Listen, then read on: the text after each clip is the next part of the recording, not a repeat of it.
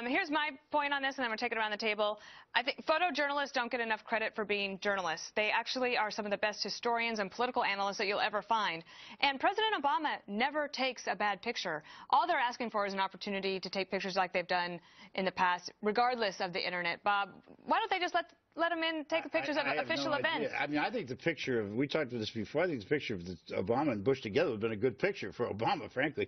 But uh, I don't understand. Did you ever get yelled at like that? Oh, I'm sure I did. You did? I'm sure Uh, I that handled seemed it to me just to be so well. Pretty though. out of control at one point. I thought that actually I thought that was fairly tame. It was. Yeah, in, in, yeah, in, Oh, who would want that general. job? Oh, we only have a couple of minutes. Andrea, what do you think? Reporter, is this a big? Uh, uh, are they making a mountain out of a molehill, or do they have a I point? I don't think so. This has been a theme, right? So a couple months ago, uh, led by Ed Henry, the press corps was pretty angry that the only thing they got from the president was a picture of him golfing uh, when he went south. Yeah, to golf right. with, I believe, Tiger Woods. This is my problem, though, Dane. The White House, it says we're going to be transparent, we're going to give you lots of access, won't even let them um, take Mm-hmm. a picture. But look, I'm not surprised that they're cutting back the access, uh, the access for the reporters. Things are not going very well. It just makes them look like complete control freaks and absolutely ridiculous.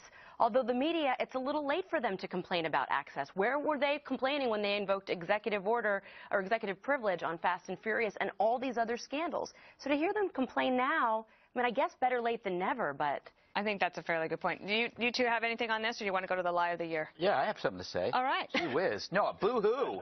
boo hoo. This is not a conflict. This is a lover's quarrel.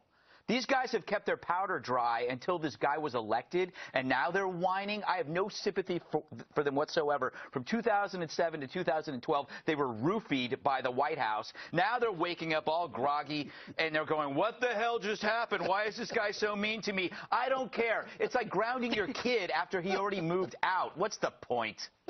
So, uh, yeah, I had something to say. I do. Th- I think there is something to be said that they've they've ceded so much ground that now when they're fighting, they're they're complaining. Very Thoughts? quickly, uh, Pete Souza, a great White House uh, photographer. The problem is when you control that, it's just, it's not journalism. And he used to be a not- photo a photo dog like if, the rest of them. If you don't let the independent photographers in there and, and, and photograph what's going on, you don't know what's going on. You, you're only getting what the White House wants you to know, and that's not journalism.